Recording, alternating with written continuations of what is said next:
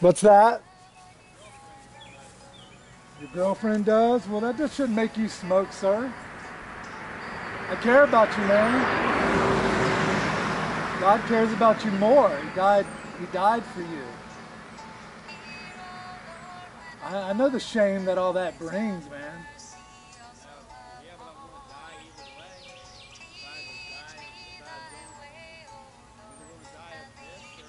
I can't hardly hear you, man. Could you tell, come talk to me?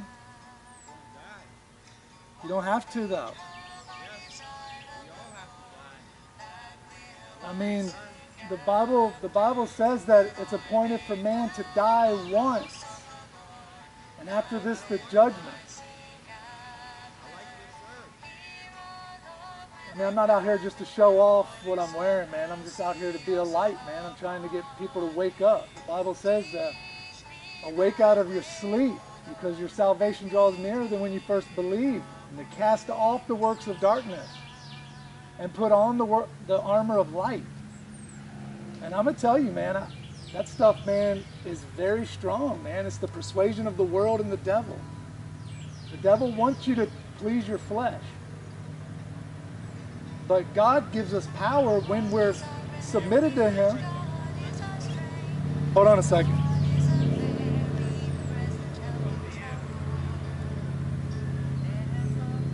What's that, sir? Wow. You see this, this cigarette that I'm smoking? Yeah. It makes me more crazy than anything else. I mean, you know these things because it, it Yeah, influences. these things right here make me crazy.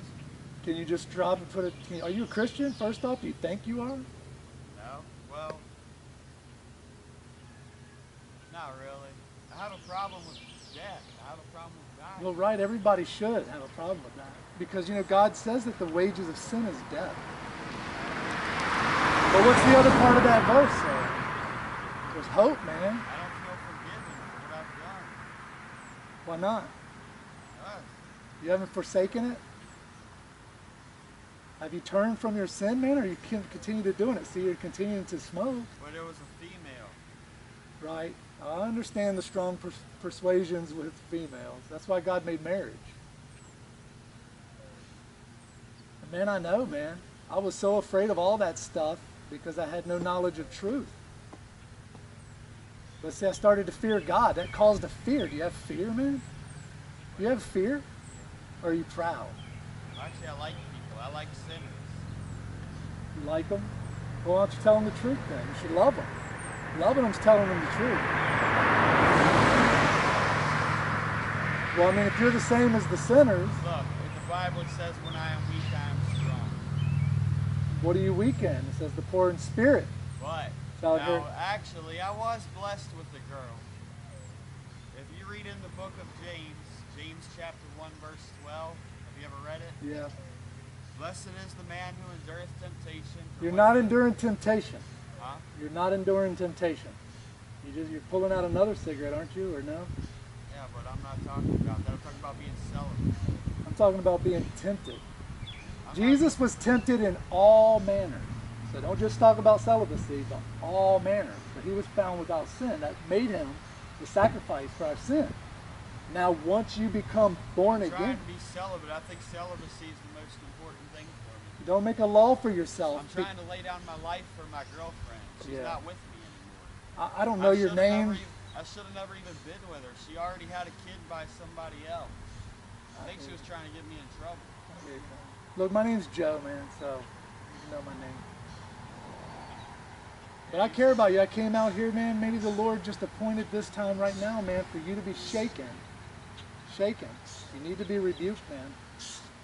And I mean, I'm not trying to judge you by appearance, but you know your heart. God knows the heart.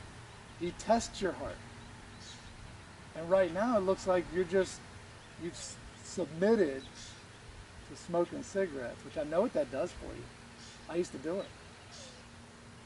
And don't don't believe, dude. Don't believe the lie, man. That no matter what you do, you're still going to inherit the kingdom. The Bible talks about when God returns of Jesus Christ, He's going to judge the world in righteousness. He's going to give everyone according to their works. Now, I'm not saying I'm saved by my works. I'm not. We're saved by grace through faith, Ephesians 2 says, and it's not of ourselves, it's a gift of God. Not of works, lest any man should boast. Yeah, but nobody knows what it's like when you're dying. Well, the Bible says you got to die. And Jesus said, deny yourself, take up your cross, and follow me. I'm scared to die. Right. That's what freedom is in Christ. You no longer fear death. No longer. You don't think? I think really ultimately it's the fear of suffering or pain. It's not necessarily death, but people should be afraid to die. It's the fear of hell, though. Exactly. I'm That's scared it. of hell. Yeah, man. That You should be. That's a good fear to have. But listen, listen, you should more so be mourning because you're not pleasing God. You don't want God to be ashamed of you and say, Depart from me. Basically, God says that I'm just allowed to do whatever I want. No, that's, un, that's not true. God because. God loves sinners. Basically, No. The Bible says in Psalm... I think God loves the people who don't know who He is. well, he's, he's given everyone a conscience. He's given everyone the ability to know him.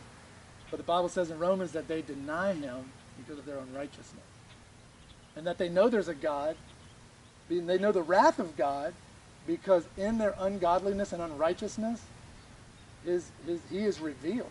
They know. What do you mean? And God's wrath.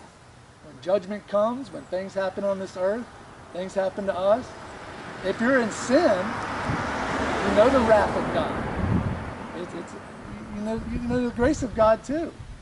But we have to submit. We have to submit to Him. So what's keeping you back, man? You don't have to be a sinner. The Bible says this that God's angry with the sinners every day don't want to. Well, So if you're a sinner, he's angry with you, sir. I don't want him to be angry with you. God's not willing that any should perish, but that all would come to repentance. You've never truly repented, because if you did, you would desire to please God and obey his word, keep his word, and obey his commands. you think God is a female, a woman? God's the Almighty. He is a spirit. I think He's a woman. He's a spirit. He's a spirit, and you have you're a temple. You're I'm a temple, and you're defiling your temple right now. And I don't. I'm not saying any of the other things that you already know about. And God, God's not going to hear your prayers unless you. Well, I know that He doesn't want me to be a drunkard, He wants you to turn from all sin. but these cigarettes don't really. They're not really that bad for me, really. I actually kind of like smoking. That's you've never had the revelation of God. Then cigarettes don't get me high or anything. they do do something to you. Well, actually, they cut oxygen out through the brain. as How about this? Put them down and walk away for two or three days. See what what happens to I've you. actually been trying to quit for the past couple. That's not going to save you, though. I mean, I'm just, you know, I can give you all types of tips to help you in this exactly, life, Exactly, It's not going to save me from death. But Jesus That's can. That's why I have a problem. That's why I have. Jesus can. That's why I'm having trouble quitting because I'm trying to be healthy, but then he's just going to kill me. You need to repent. And well, you know what repentance is? It's to turn away from it. Look, all your sin, every sin that comes to your mind that you're doing, start turning from them. But you can't turn from them if you've already done it. Right, right. That's what makes us not willing to stand before God, not able to stand before God in our sin. When people get the knowledge of the truth You know, Jesus, Some of us don't know what sin is. everyone knows what it is. Like that verse says in Romans, the wrath of God is revealed from heaven against all ungodliness and unrighteousness. All tribe, nations, and tongue understand right and wrong. They all understand it. They all do. If somebody comes up against you and you're going to defend yourself, you know it's wrong for them to do it. Same vice versa. You know it. You're going to protect yourself. Right? I'm not that tough. Well, I'm just saying that they all know, man. You know? The Bible, man, sir, it says to cleanse your hands, sinner. It says to purify your heart, double minded. It says to lament, mourn, and weep. Let your laughter be turned to mourning and your joy to gloom. The Bible says, humble yourself in the sight of the Lord, he'll lift you up. You got to resist the devil. The devil is what's behind. You've co- you you you you've allowed the devil to purchase you because of your sin. So therefore, So God's what's going your advice for me then? to repent of all your sin, man. Put your faith in Jesus Christ, man, and walk in a way that's worthy of His calling, man. You got to examine your life, man. I had to do it. I have to do it daily.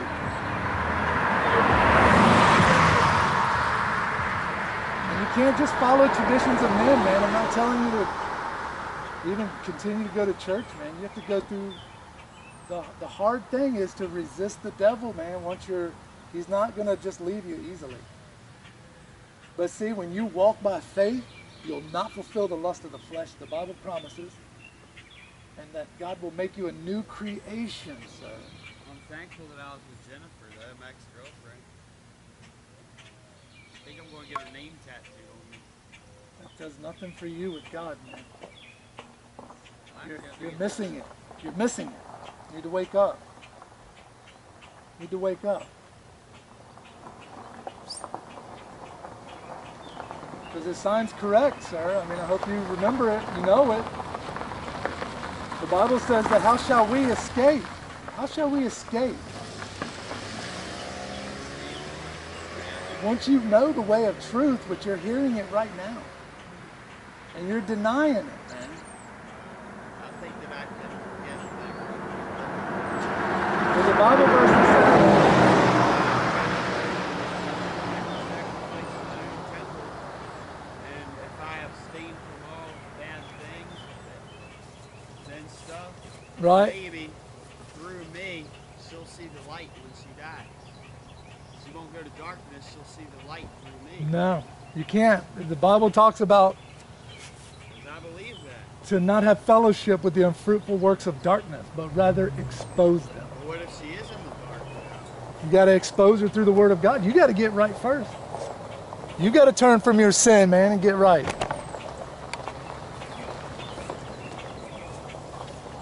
You know, man, I'm out here for you, man. God's pleading through me to you to be reconciled to God. What do you think God is? What's that? What do you think God is? I already told you, He's a spirit.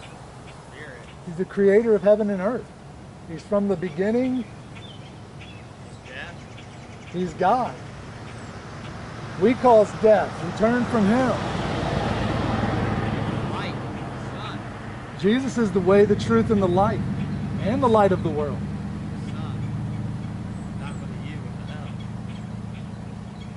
Missing it, man. You want God to really reveal Himself to you. You got to seek Him. Bible says to knock, it shall be open. Ask. Seek and ye shall find. You need to repent. You need it. You may, you may, it may cost you a lot. It, it will. It costs you everything. But look what it cost God. His only begotten Son, who never sinned, who came to teach us the way that we need to go. And he died for us. I'm, I'm curious why you laugh. I mean, you think I'm lying to you? Am I lying to you? I don't know. Well, you should seek it out in the Word, man, in the Bible. Well, I live by one verse. That's James chapter 1, verse 12. Blessed is the man who endures temptation, for when he is approved to receive the crown of life which the Lord has promised. But you're not doing it. it's the Son. You're not doing it. You're not enduring temptation. Celibacy. Celibacy is the most important thing. A denying of yourself is the most important thing. Yeah. Deny yourself. Those are God's commands, man. He wants you to repent, man. I hope you do, man. I hope this word lasts. It's doing something. I think that God hates an adulterous heart. God's not willing that you perish, sir. I think, I think You're going to perish in your self-made law and your self-keeping of what you think's right. The Bible says there's a way that seems right to a man, I think my girlfriend was actually trying to get me in trouble with her family. But the end is the way of death. I think she was a troublemaker. What's that? I think my girlfriend was a troublemaker, trying to get me killed by her family. I don't know your girlfriend. She had. She when I she came, she had scars on her sweatshirt. Yeah. You need to fear God, man, not your girlfriend. I fear her family. I fear her. God's going to judge your life, man. I fear the people that she knows. You need to repent. You need to repent.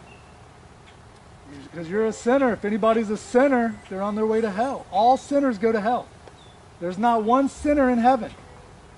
Jesus was the sinless one. He's at the right hand of the Father. He can clothe us in righteousness. I don't believe that. I think All sinners go to hell.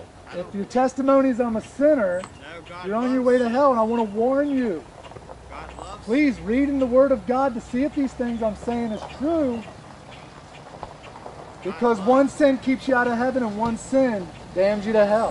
One. Doesn't say that in the Bible. He demonstrated his love for us that while we were sinners, Christ died for us. So you cannot live in sin, which most churches this day teach that. You can never be free from sin. But see, the church of the firstborn from the dead, Jesus Christ, as the Savior and the testator, the testimony of Jesus Christ. This is the spirit of prophecy. Is that Jesus can free you from your sin, sir. You have to show, you have to submit and yield and turn from your sin. That is what repentance is, sir. I can't say it strong enough. I want you to be saved, sir. I do. I want you to be saved. You can be saved from your sin. You got to put that stuff away from you. Cast it off, man. Put the, all of it. Your thoughts about what you think's right and what the Word says. Find out in the Word, man. Read God's Word, man. I'm serious, man. There's no time to waste.